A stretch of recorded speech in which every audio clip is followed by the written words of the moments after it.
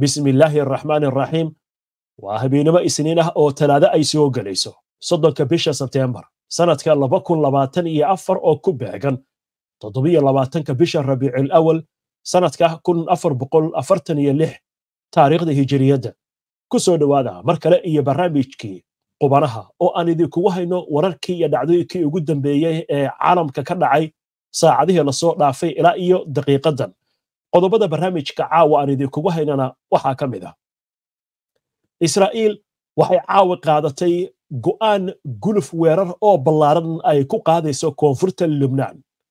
Durbaba ciidamada israa'iil ayaa bilaabay duqaymaha madaafiicda goobta. Waxaa soo baxaya warar kala duwan oo ku aadan ujeeddada weerarkan israa'iil ay ka leedahay. Sidoo kale siyaabo kala duwan ayaa caalamka looga hadlayaa duulaankan xisbullah ayaa wacad ku martay israa'iil inaysan caana ka cabbi doonin haddii ay soo gasho koonfurta lubnaan sidoo kale xisbullah ayaa xilligan duqaymo ku wadda deegaano ka mida waqooyiga israa'iil. Magaalada xayfa ayaa ka mida goobaha lagu kala cararay. Xisbullah waxay adeegsatay markii ugu horraysay gantaalka al nuur erdogan ayaa ku eedeeyey dunida in ay ka aamusan tahay qorshaha israa'iil ay ku doonayso in gobolka oo idil dagaalka uu gaadho dhanka khazana kataa'ibulqasaam ayaa goor dhoweyta shaacisay in ay daban u dhigtay ciidamo israa'iiliyana islamarkaasna dhimashiya dhaawac ay u geysteen. Imaaraadka carabta iyo suudaan oo ay ka dhex curatay xiisad dhanka diblomaasiyadda oo aad u culus butinna waxa uu amray in kumanayaal kun oo ciidamaha loo qoro. Ciidamada waddankaasi xilli ay ka sii darayso gufta ka dhex aloosan ruushka iyo reer galbeedka barnaamijkaan idinkugu haynaana waxay ku aadan tahay lix sano kadib dunida dadka lixdan iyo shan sano jira ama in ka badan ayaa la sheegay inay ka badnaan doonaan dhallinyarada sheekadaas iyo qodobo kale iyo wixii warah ee soo kordha intaynu hawada ku jirno ayaan idinkugu soo gudbinaynaa barnaamijka qubanaha shirkadda noor salmon ee xarunteedu tahay norway waxa aad ka helaysaa noocyada kala duwan ee kalluunka isagoo fresh iyo frozenba khaasatan kalluunka salmon. Noor salmon waxay dadka maqaaxyaha dukaamada iyo ganacsiga kalaba leh ka haqabtiraysaa kalluunka salmon iyo kalluunka kale ee makareel sidoo kale waxaad shirkadda ka helaysaa saliidda taran omega tree oo u wanaagsan caafimaadka guud ee carruurta iyo dadka waaweynba. Nor salmon waxay dalabkaaga kuugu keenaysaa meel kasta oo aad caalamka ka joogtid sida ugu dhaqsiyaha badan. La xiriir iimailka iyo ciwaanada shaashadda kaaga muuqda. Internet balas waa adeeg ay macaamiishu ka heli karaan internet faibar ah oo xawaarihiisu yahay labaatan megabytes ber second ayna la socdaan rasiifar ay ku jiraan in ka badan afar kun oo kanaal iyo boqolaal daqiiqado oo ah ku hadal bilaash ah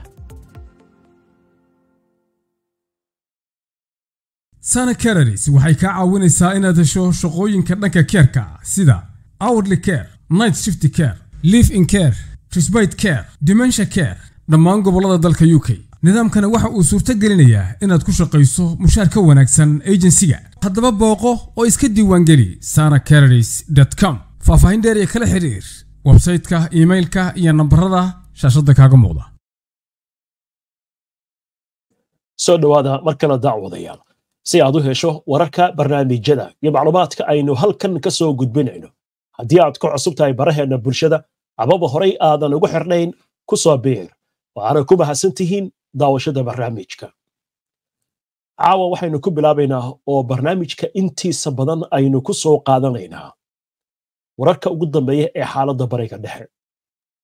Waxaa cabsi weyn laga qabaa dagaalku in uu faafo kadib markii israa'iil caawa go'aan ay ku gaartay duulaan dhanka dhulka inay ku qaado koonfurta waddanka lubnaan. Warar kala duwan ayaa ka soo baxaya ujeeddada israa'iil ay ka leedahay duulaankan. Xilligan oo barnaamijka aynu wadno taangiyada ciidanka israa'iil ayaa la sheegaya inay ka gudbeen xadka waxaana durbo bilowday dagaal. Ciidamadii ka socday qaramada midoobay iyo kuwa dowladda lubnaan ayaa ka baxay xeryihii ay ka joogeen dhanka koonfureed gaar ahaan deegaanada ku taadsan xadka lubnaan iyo israa'iil xogtan oo faahfaahsan iyo wararka degdega ah ayaan goorna u gudbi doonaa laakiin waxaynu ku hormaraynaa haatan duqibaha culus ee soconaya xisbullah inkastoo saraakiil badan laga dilay iyo hogaamiyahoodii haddana ilaa iyo saakay ilaa iyo xilligan duqaymo kala duwan ayay wadaan waxaana ka mid a meelaha la duqeeyey magaalada xayfa ee dhacda waqooyiga israa'iil halkaasi oo ay sheegeen in ay ku rideen gantaalada nuuca loo yaqaano vaadi sidoo kale markii ugu horreysay xisbullah waxay adeegsadeen gantaalka loo yaqaano nuur oo iiraan ay farsamaysay. Xisbullahi sidoo kale waxay sheegeen in ciidamo israa'iiliyiin oo ku sugnaa deegaanka zawra ee ku yaalla goolanta la haysto in ay madaafiic ku duqeeyeen. Waxay kaloo sheegeen deegaanka baytsida in ay ku garaaceen hoobiyaal waxaa sidoo kale wararka ka mid ah in goobaha deegaameynta looga sameeyey dadka israa'iiliyiinta oo ay ku jiraan ciidamo in ay ku weerareen deegaanka yidshash goor dhoweyto intii aynu soo gelin barnaamijka magaalada xayfa ee dekadda leh ayaa laga maqlay dawanka digniinta ka bixiya gantaalada sidoo kale wararkan waxaa ka mid ah in gobolka jaliil bartamihiisa dhanka sare iyo dhanka hooseba waa saddexda qaybood oo ka kooban yahay gobolkaasi laga maqlayo dawanka digniinta ka bixiya gantaalada. Dhinaca kale militariga israa'iil ayaa xoojiyey duqeymaha ay wadaan. Magaalada beyrut meel ku dhow garoonka dayuuradaha ayay israa'iil duqaysay waxaana ay ku tilmaamtay in halkaasi hub kayd ahaan ugu yiil xisbullah ay duqeeyeen. Wariye ka tirsan telefishinka aljaziire ayaa sidoo kale soo sheegaya in madaafiicda goobta israa'iil ay ku garaacayso. Magaalooyinka khiyaam kafarkila iyo wazaniya oo ku yaalla koonfurta waddanka lubnaan sidoo kale magaalada nakhuura ayaa ka mid ah meelaha duqaynta lagu hayo. Haddaba israa'iil war rasmi oo caawa ka soo baxay ayaa waxa uu sheegayaa in qalinka lagu duugay guluf weerar oo aad u ballaaran oo lagu qaadayo koonfurta waddanka lubnaan waxaana lagu soo warramayaa in boqolaal taangiyada ciidanka israa'iil iyo weliba kumanayaal kun oo ciidanka la geeyey xadka waxaana la arkayey dababaadka dagaalka israa'iil oo ku sii gurguuranaya dhanka xadka. War ka soo baxay militariga israa'iil ayaa waxaa lagu sheegay in la doonayo in ciidanka israa'iil ay gaaraan ilaa iyo webiga litani isla markaasna ay doonayaan inay wax ka bedelaan gebi ahaanba koonfurta lubnaan iyo gobolka. Sida hadalka loo dhigay warkan ayaa waxaa kaloo lagu tilmaamay in militariga israa'iil ay qorsheeyeen in deegaano badanoo ku yaalla waqooyiga israa'iil loo bedelo. Aag militari oo aan la geli karin. Waxaana ka mid ah deegaanka mutella misgaf am iyo kivargaldi wargeyska maarif ee israa'iil ka soo baxa ayaa waxa uu sheegayaa in sababtu ay tahay halkaasi oo ay ka bilaabanayaan howlgallo militari ilowareedyo dhanka israa'iil laga helay ayaa waxaa la sheegayaa in duulaankan la qorsheeyey in la qaado si looga hortago duulaan la filayo inuu ka yimaado dhanka ciidanka radwaan ee xisbullah kuwaasi oo la sheegay in ay wadaan duulaan ballaaran oo dhanka dhulka ah. Macluumaadka ayaa waxaa la sheegayaa in lagu helay xoge dhanka sirdoonka oo tilmaamaya. Weerarka ciidanka radwaan oo ah guutada aad ku tababaran ee xisbullah ay doonayaan inay ku soo jiiraan difaacyada ciidanka israa'iil shabakadda axios ee maraykanka laga leeyahay ayaa ka soo xigatay saraakiil israa'iiliyiina oo sheegaya in aysan shaki ku jirin duulaanka ciidanka israa'iil ay doonayaan inay ku qaadaan magaalooyinka koonfurta lubnaan. Waxaana la sheegay kulan maantay golaha amniga ee israa'iil ay yeesheen in looga hadlay duulaanka dhanka militariga ee israa'iil ay qaadayso. Ujeeddada ayaa lagu macneeyey inay tahay in dadka israa'iiliyiinta dib loogu celiyo deegaanadooda wargeyska iyo dacoodta xarnimada israa'iil ka soo baxa ayaa ka soo xigtay ku-xigeenka abbaaduulaha ciidanka israa'iil oo sheegaya in maalmaha soo socda ay noqon doonaan maalmo imtixaan ah oo uu sheegayo in uusan cabiri karin waxa ka soo bixi kara iyo waxa israa'iil ay ku hogaamin karaan. Dhankiisa wasiirka gaashaandhigga ee israa'iil yuwaf galan ayaa waxa uu sheegay in ay diyaariyeen wejiga xiga ee dagaalka xisbullah ka dhan ah oo uu sheegay in dhowaan uu bilaaban doono telefishinka a b c ee maraykanka laga leeyahay ayaa sidoo kale ka soo xigtay sarkaal maraykan ah oo sheegaya in howlgalka israa'iil ay qaadayso lagu tilmaamay inuu yahay mid xadidan laakiin waxaa la leeyahay intaasi waxa ay dhici kartaa in howlgalka uu ka bato. Wakaaladda wararka ee reuters ayaa sidoo kale ka soo xigtay sarkaal amerikaan ah oo sheegaya in howlgalkan ciidanka israa'iil ay qorsheynayaan uu yahay mid la filayo si degdega inuu ku dhaco. Isla wararka dalka maraykanka waxda amuuraha dibadda ee dalka maraykanka ayaa war ay soo saartay waxa ay sheegtay in ay aragtay macluumaadka ku aadan israa'iil in ay qorsheynayso duulaan kooban inay ku qaado kaabayaasha muhiimka ah ee xisbullah waxaana lagu sheegay in maraykanku ay taageerayaan xabad joojin islamarkaasna cadaadiska dhanka militariga lagu kabo dadaal dhanka diblomaasiyadda si looga baaqsado cawaaqib xumada ka imaan karta arrintaasi. Waaya intaa marka laga gudbo waxaa isaguna caawa hadlay xogayaha difaaca ee waddanka maraykanka. Lloyd austin waxyaalaha wuxuu ka hadlay ay ka mid tahay xilligii xasan nasrallah la beegsanayey sida israa'iil gaar ahaan wasiirkiisa wasiirka gaashaandhigga uu ugu sheegay. Haddaba waxda gaashaandhigga ee batigonka ayaa ka soo xigatay lloyd austin oo sheegaya in israa'iil ay ku soo wargelisay howlgalkaasi oo ku tilmaamay in si layaab leh loogu sheegay in israa'iil ay qaadayso howlgalkanna nasrallah. Waxaana uu yidhi waxaa naga go'an israa'iil taageeradeeda iyo difaaceeda. Sidoo kale waxa uu tilmaamay in aysan iyagu ka qayb qaadan. Waa maraykanka weerarkaasi lagu khaarajiyey hogaamiyihii ururka xisbullah sheekh xasan nasrallah. Dhinaca kale lord austin waxa uu sheegay inay isha ku hayaan dhaqdhaqaaqyada iyo hanjabaadaha ka imaanaya dhanka iiraan oo uu ku tilmaamay in ay yihiin kuwa halis gelin kara xaaladda gobolka. Waxaa kaloo uu sheegay in ay dibuqaabayn ku sameeyeen ciidanka maraykanka ee gobolka ku sugan. Sida hadalka oo u dhigay haddaba arrimahan waxaa sidoo kale si adag uga hadlay madaxweynaha waddanka turkiga rajab dayba erdogan. Isagoo goordhaweyta hadlayay ayaa waxa uu sheegay in caalamku afka uu ka qabsaday ama dibnaha uu ka qabsaday. Israa'iil oo doonaysa in qoriga dabka leh ee la wareegayso gobolka bariga dhexe ay ka shido wuxuu sheegay in haddii ay ku guulaysan waayaan golaha ammaanka ee qaramada midoobay in israa'iil la celiyo lana joojin waayo dagaalka ay ka wada khaza iyo lubnaan markaas ay tahay in golaha loo dhan yahay ee qaramada midoobay uu amro in awood loo isticmaalo in israa'iil laga hortago.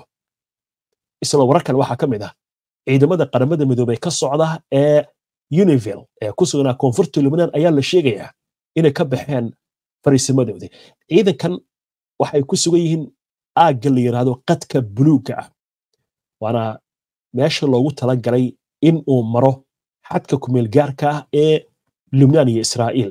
Laakiin xaaladda oo ka sii daraysa ayaa waxaa la sheegayaa in xitaa ay keentay ciidamada dowladda waddanka lubnaan inay halkaasi ka baxeen.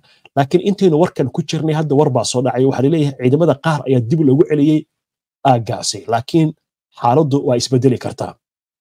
Isla wararkan waxaa ka mid ah jarmalka ayaa goordhaweyta ku dhawaaqay in diyaarad militari uu diri doono waddanka lubnaan.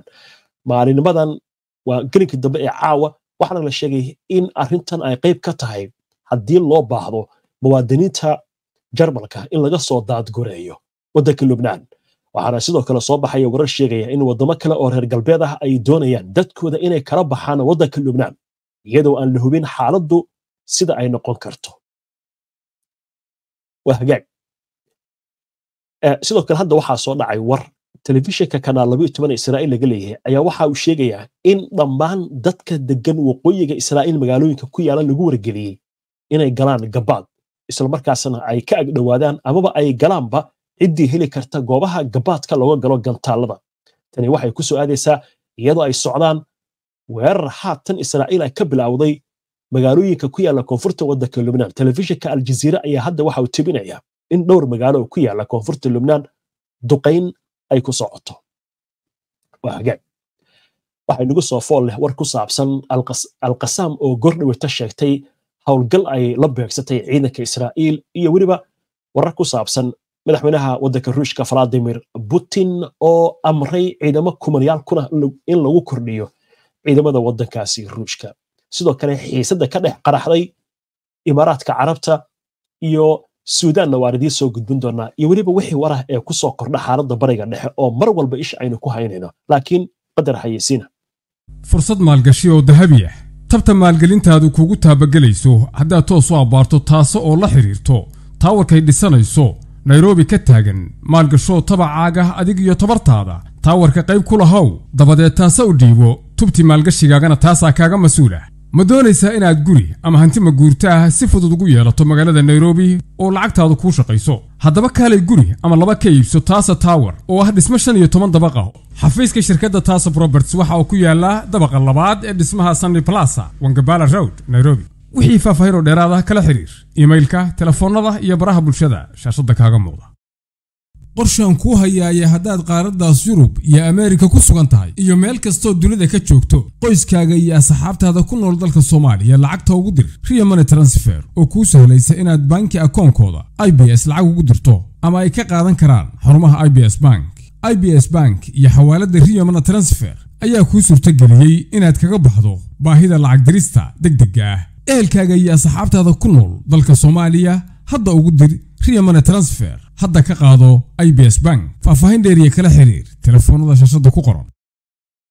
Miyay quruxdii ilkaha adiga qaar kaa lumeen miyay qayirmeen dhammaan dadkuna kugu quursadeen? Miyaad qajilaad darteed adigu qosolkaba gabtaa ramadaan dental care waxaad ka helaysaa ilkaha casriga ee zirconia teeth bridge teeth iyo denjar teeth oo ah ilkaha ugu sarreeya ee la gashado. Ama kuwaaga ayaa laguu qurxinayaa haddii ay kaa jajabeen qaybta koowaad waxay ku taallaa hargeysa agagaarka astaanka basaska u baxa xaafadda xera awr. Qaybta labaad ee hargeysana waa ka soo horjeedka oriental hotel dhinaca koonfurta. Qaybta burcana waa ka soo horjeedka xarunta guud ee telesom burco kala xiriir nambarada shaashada aad ku aragtid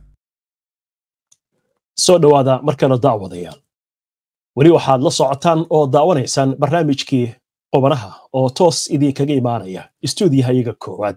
Barnaamijyadana waxaad ka heli kartaan bogaga bulshada ee internetka sida youtubeka facebooka twitterka tiktoka iyo weliba telegramka. Warbixinno qoraalah faallooyin iyo macluumaadyo kale waxaad ka heli kartaan haddii aad booqataan. Barta internetka aynu ku leenahay ee www hbn online tv com. Hagaag dib ayaynu ugu laabanaynaa. Wararka dagaalka lubnaan iyo israel haatan intii xayisiinta ku jirtay waxaa soo dhacay dhowr war oo kala duwan. Militariga israa'iil ayaa la sheegayaa inay ka gudbeen xadka oo dhowr magaalo hadda duqaymo ay ka wadaan. Waxaana warkan hadda soo tuuray telefishinka aljaziira waxaana la sheegayaa in dhowr magaalo ku yaalla koonfurta waddanka lubnaan. Hadda dagaaladu ay bilowdeen oo duqaymaha israa'iil ay ku socdaan kafarkila al adasiya al khayim iyo saarda ayaa ka mid ah. Waxaana ay ku yaalaan dhanka bari ee koonfurta waddanka lubnaan. Haddii aan isku doono qariirada inaynayna tusno halkan sida kaga muuqata lubnaan waad arkaysaan.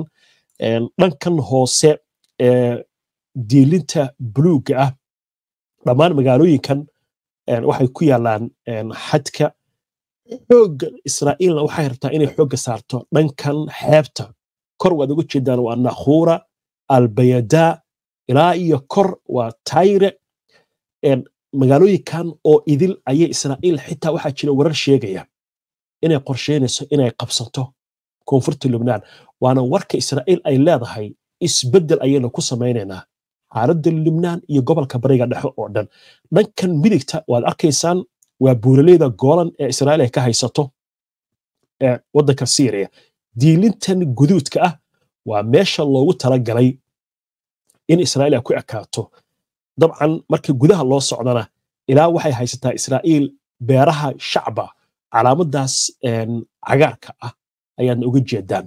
Sida hadda ay tilmaamayso qariiradan wararka ugu dambeeyana ay tilmaamayaan. Hagaag xagga maraykanka waxaa hadda war ka dhacay aqalka cadi ee waddanka. Maraykanka waxay leeyihiin maraykanku waxa uu qiimeynayaa xooggana saaraya xabad joojin inay dhacdo. Sida hadalka loo yiri waxaynu doonaynaa baa la yidhi xabad joojin. Waa arki doonaa? Waan ku laaban doonaa haddii war degdega uu yimaado. Dabcan wararkuna iska daba dhacayaan. Laakiin xiisad culus ayaa ka dhex qaraxday imaaraadka carabta iyo suudaan. Kadib markii imaaraadka carabta suudaan uu ku eedeeyey safaaradda khartuum ay ku leeyihiin in ciidamada suudaan ay duqeeyeen haddaba wararka ugu dambeeya xiisadan iyo jawaabta ka soo baxday ciidamada suudaan waxaa soo koobaysa waryahayaga nimco cabdikariin tima cadde ciidamada suudaan ayaa beeniyey eedeyn uga timid imaaraadka carabta oo ku aadan inay duqeeyeen xarunta safiirkooda ee magaalada khartuum iyadoo imaaraadka ay ku tilmaameen sida ay wax u dhaceen mid gardarro ah oo ka dhan ah safaaradooda ku taalla caasimada suudaan war qoraal ah oo ay soo saareen ciidamada suudaan ayaa lagu sheegay inaysan bartilmaameedsan xarumaha ay ku shaqeeyaan ergada diblomaasiyadeed iyo xarumaha qaramada midoobay ama hay'adaha mutadawiciinta ah islamarkaana aysan u isticmaalin saldhigyo ciidan ama aysan bililiqaysan waxa ku jira. Kuwa fuliya falalkan foosha xun ee fulaynimada ah waa maleeshiyaadka argagixisada ah ee jabhadda dagalo kuwaasoo ay taageerayaan waddamada caalamka laga yaqaano iyadoo ay si buuxda uga warhayaan waddamada iyo ururada caalamiga ah ayaa lagu yiri war ka soo baxay ciidamada suudaan. Ciidamada qalabka sida ee suudaan. Ma fuliyaan falalkan fulaynimada ah mana ku xadgudbaan sharciga caalamiga ah balse waxa ay bartilmaameydsadaan halka ay ku sugan yihiin maleeshiyaadka tanina waa xaq ay u leeyihiin inay difaacaan dowladda suudaan ayaa mar kale lagu xusay bayaanka. Goor sii horeysay wasaaradda arrimaha dibadda imaaraadka carabta ayaa si kulula waxay ugu yeertay weerar arxandarra ah oo lagu bartilmaameydsaday xaruntooda diblomaasiyadeed ee magaalada khartuum iyadoo loo adeegsaday diyaaradda ay leeyihiin ciidamada suudaan. War qoraal ah oo ka soo baxay wasaaradda arrimaha dibadda imaaraadka ayaa lagu sheegay in weerarka uu burbur xoogan u geystay dhismaha iyadoo ugu baaqday ciidamada inay si buuxda u qaataan mas'uuliyadda falkan fulaynimada ah. Dowladda imaaraadka ayaa sheegtay inay u gudbin doonto warqada cabasho ah ururka jaamacadda carabta midowda afrika iyo qaramada midoobay taasi oo ah ashtaka ka dhan ah sida hadalka loo dhigay weerarka ay geysteen ciidamada qalabka sida ee suudaan kaasoo ka dhigan xadgudub bareer ah oo loo geystay mabda'a asaasiga ah ee lama taabtaanka ah ee xarumaha diblomaasiyadeed. Milatariga suudaan ayaa marar badan ku eedeeyay imaaraadka inay hub iyo taageero siiyaan ciidamada gurmadka deg dega ah ee hogaamiyo jenaraal maxamed xamdaan dagalo oo ciidankiisa ay la galeen ciidamada suudaan dagaal qarxay bishii abriil sannadkii labada kun saddex iyo labaatanka.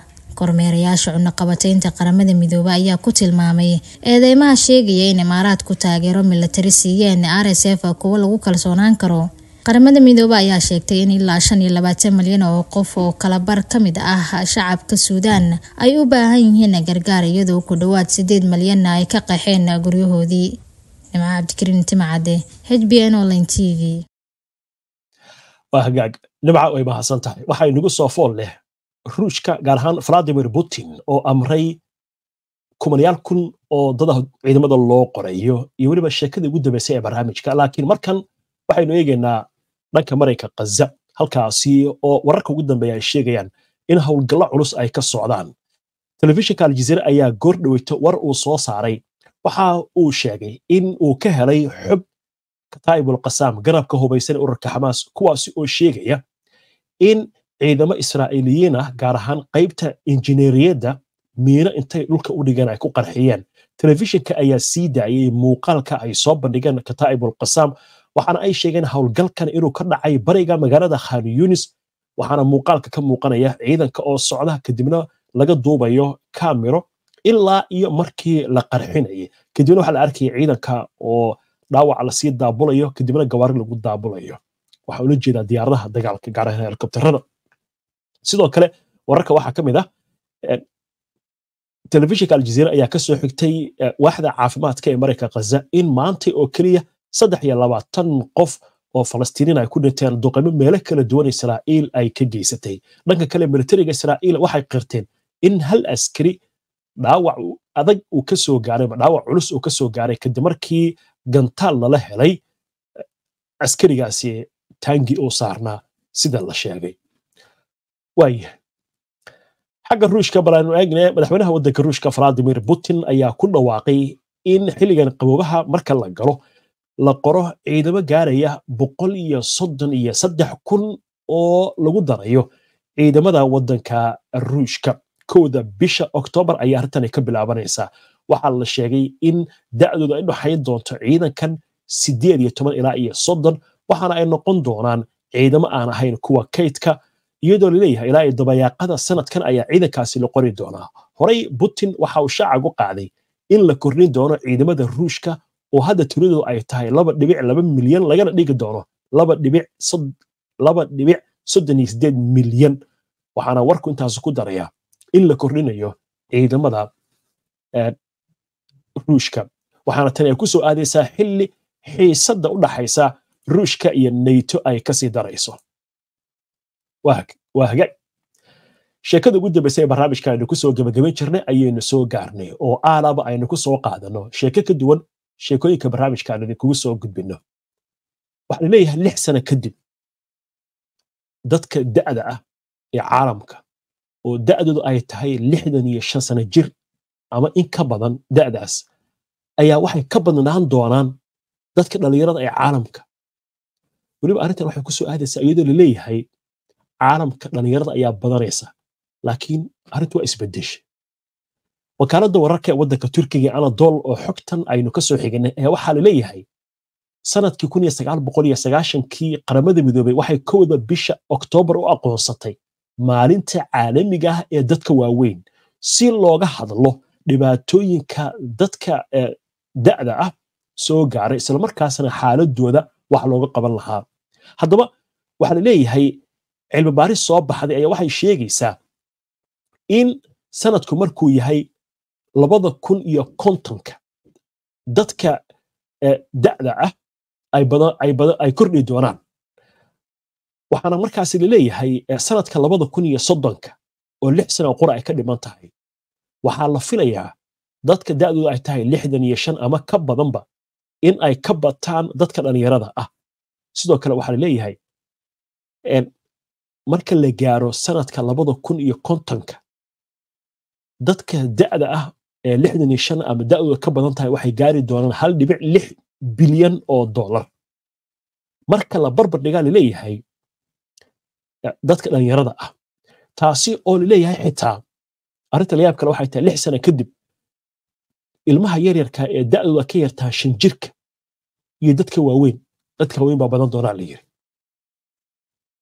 waaye arrintu marka waxaa laleeyahayba isbeddel baa imaanaya.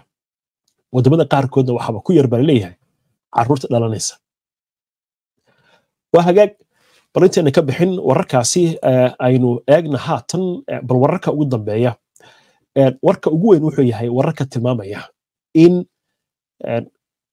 ciidamada israa'iil gaar ahaan dababaadka dagaalku ay ku sii siqayaan dhanka koonfureed ee waddanka lubnaan halkaasi oo lagu soo warramayo in howlgallo durbabo ay bilowday israa'iil. Xaaladda ayaan la ogeyn waxay noqon karto berina waxaa la filin kara baa leeyahay.